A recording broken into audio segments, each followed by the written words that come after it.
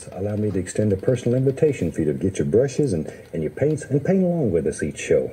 And if you've been with us before, please allow me to thank you for inviting us back for another series of painting shows. We'll use about a dozen colors of some unorthodox brushes, and each show I'll show you how to put some of nature's masterpieces right here on the canvas.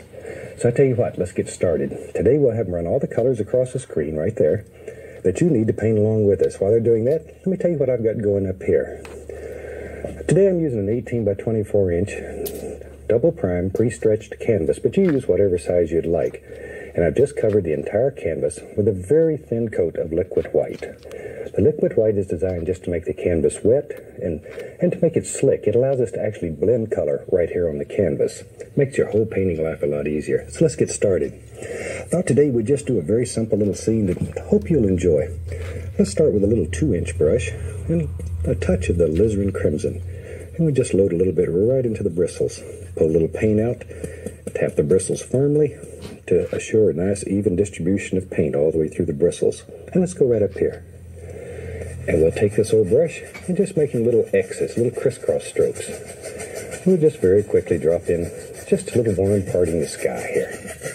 Maybe we'll have a little pink in the sky. I sort of like that. And in our world, we can do anything that we want to do here. Any old thing. There. Doesn't take too long when you're using a brush that's two inches wide. Okay, without even cleaning the brush, we'll go right into, right into little phthalo blue. I like phthalo blue. It's a very warm blue. Very nice. Once again, just tap a little color into it, and let's go back up here. And still using our little crisscross strokes, X's. That's all they are, little X's. We'll just apply a little bit of the phthalo blue. Something about like so. Then we'll come back after we clean the brush and blend that together.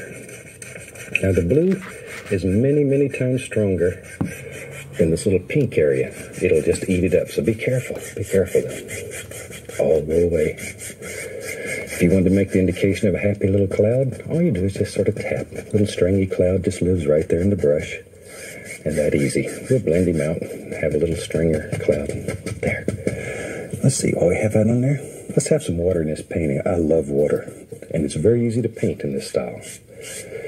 Still water is always level. And I think today we'll have still water. So pour from the outside in. Outside in. Something about like so. All right. Well, I have a little brush going. I want to darken the corners a little bit. I'm going to take a little Prussian blue and just add in the corners here and there. A little bit up there. And we'll go over to the other side and add a little more and then down to the bottom. And we'll put a little down here too. I'm just putting a little Prussian blue in each corner to darken it. And then the most fun part of this whole technique is washing the brushes. Since these are oil paints, we're washing our brushes with odorless paint thinner. Shake off the excess and just beat the devil out of it. That's really the most fun part of it. Now, with a clean brush, and it's relatively dry from just beating it, we'll start in the light area, which is the pink, and we'll blend it all together. Something about like so. That's all there is to it. Okay, down here we'll just do the same thing. There. But it's that easy. That easy. What's so fantastic about this is that anybody, anybody can put a little masterpiece on canvas with just a little bit of practice, a vision in your mind, and off you go. All right, that's working so well. Hmm. Take a little white, a little bit of the blue, grab a little more of the titanium white. I want to make a light blue color here, mostly phthalo blue.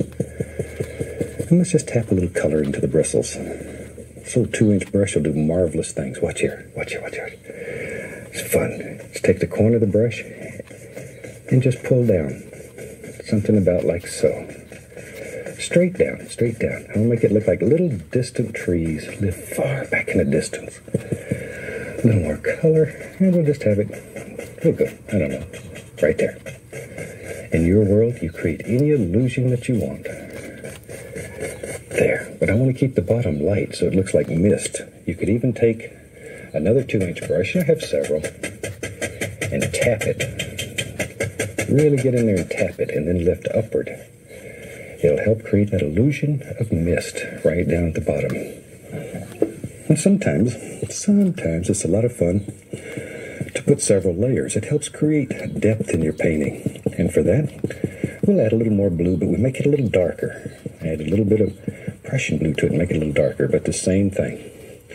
And we'll come back and let's put another little layer in here. Just touching and pulling downward. That's all we're doing. That's really all we're doing. Something about like that.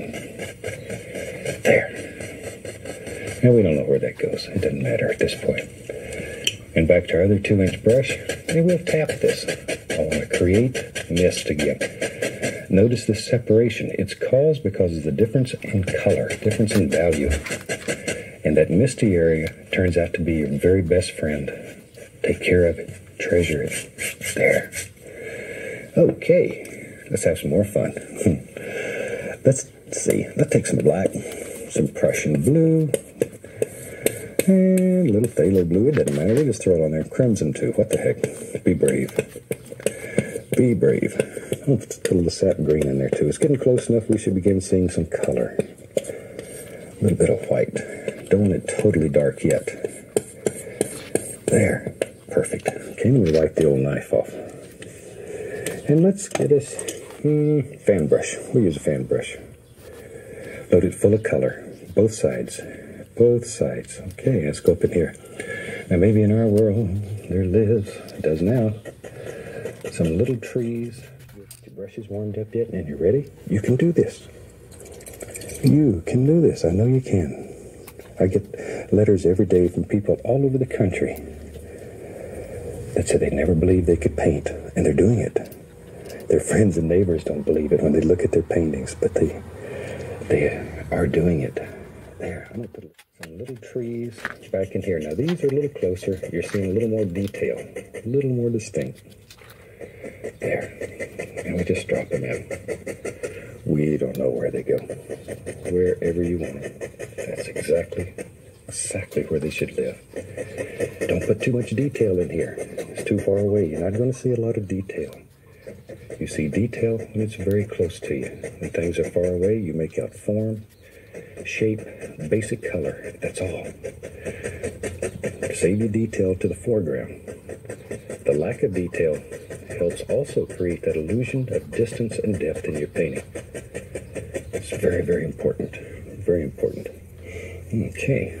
I'm going to tap a little of that. That'll help create that illusion of mist down there too.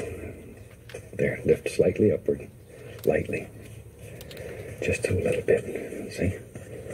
Now then, you know, when I was traditional painter, one of the hardest things to make effectively was reflections. Watch how easy. I'll take some of that same color. We'll take a two-inch brush touch and pull down. Just pull straight down. It's most important to go straight down. Something like so. Straight down. Make those little noises. And very lightly go across. There. And instantly we have some nice reflections. That's simple. Now here's something that's fun. You take a little, I just use a little white. If you want to create another plane in your painting, take a little white and lift upward. And it'll make little areas back here that looks like a whole different plane and the white will end up looking like little trunks in those trees. There, and easy. Let's put a little water line. For that we'll use a liquid white. Pull it out very flat, flat as you can get it. Cut across, okay? And we can go right up in here. And we can just drop in just a little water line. Just a happy little water line lives back in here somewhere. We don't know where it is. Don't know that we even care. Just let your imagination take you anywhere you want to go. A lot of times I start a painting and have nothing in mind but the time of day and the time of year. And from that, you can paint some fantastic little scenes. Don't worry about it. You don't always have to have a perfect vision in your mind of what it is you're going to paint. Imagination is it's it's like any other muscle in your body, or like a muscle in your body. The more you practice, the better it becomes. Take some black Prussian blue. I'm gonna put some phthalo green in there. I like phthalo green. Maybe a little crimson. There we go. All right, let me wipe off the knife. I just wiped the knife on a little, little paper towel. I would just use that brush, little fan brush. Load some color into it, both sides of the brush, both sides. Let's go up in here. Let's have, let's have a little evergreen tree. He lives right there. See? Just make a line, take the corner of the brush, make a touch. Make another one, and just sort of work from the center out. There it goes. It's easier to do them fast than it is slow, though. Here they come. Just sort of back and forth. I had a lady in class one time told me it was like making Z's, the letter Z. She called them Z trees. So I guess that's as good of an analogy as any. From the center out. The center of the tree should be the thickest, darkest, strongest part of the tree. Because you have leaves on the back, you have a trunk in the middle, and you have leaves on this side. We'll have one more in there. There we go. I have a little family of trees. You know, if you've painted with me before, I think everybody should have a friend, even a tree. Even a tree needs a friend. Now, if you want to reflect those, just pop in some general indications of where they are. No big deal. See? Because we don't make mistakes here. We have happy accidents. Hmm. Very quickly, you learn to work with anything that happens. Take the big brush, pull down, straight down once again, and then go across. And we have instant reflections. I just use that same fan brush. It has that color we made the tree out of it. I'll go through cad yellow and a little yellow ochre. Immediately we have green. There we are. Let's go up in here. And we can take out green. Let's go back and put some highlights on our little evergreen trees. There they go. All right, this little tree here. He's saying, don't leave me out. I need some too. There we are. There we are. There we are. All right. Now, we'll put a little liquid white right on that same brush because I want to lighten the color and make it a little thinner. A thin paint will stick to a thick paint. We mix them back up again. Let's go back up here. And we can just take this brush and let's just pop in the indication of some little bushes that live down here, right down in his little foots. Something about like that. How's that? That looks like a little island. Let's put some dirt there. Let's take some white, a little dark sienna, mix them together, cut off a little roll of paint, a little bright red, and we'll sign this little rascal. I really hope you've enjoyed it. It's a very simple painting that you can do. And if you try it, I'd love to see some photographs of what you're doing. So if you have time, take a photograph, send to us. Let us hear from you. Until then, from all of us here, I'd like to wish you happy painting and God bless, my friend.